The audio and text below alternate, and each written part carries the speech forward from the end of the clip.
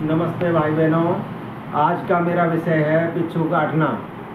बिच्छू काटने पर भी बहुत परेशानी होती है और बिच्छू काटने वाल पर रोगी रोने पर लग जाता। है बहुत बुरी तरह तड़प तड़प कर रोकता है।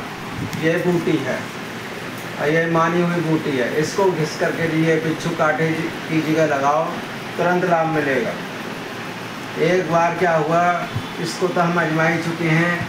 रात का समय था, लखनऊ के पास संडीला। स्थान है, वहाँ से फ़ोन आया कि बैठ जी, हमारे बच्चे को बिच्छू ने काट लिया क्या करें?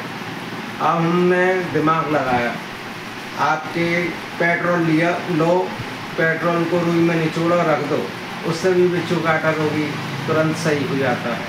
और बहुत ही बार आजमाया हुआ है, और इसको भी आजमाएँ इसी के साथ मेरी वीडियो को लाइक करें, चैनल को सब्सक्राइब करें। जय हिंद, जय भारत।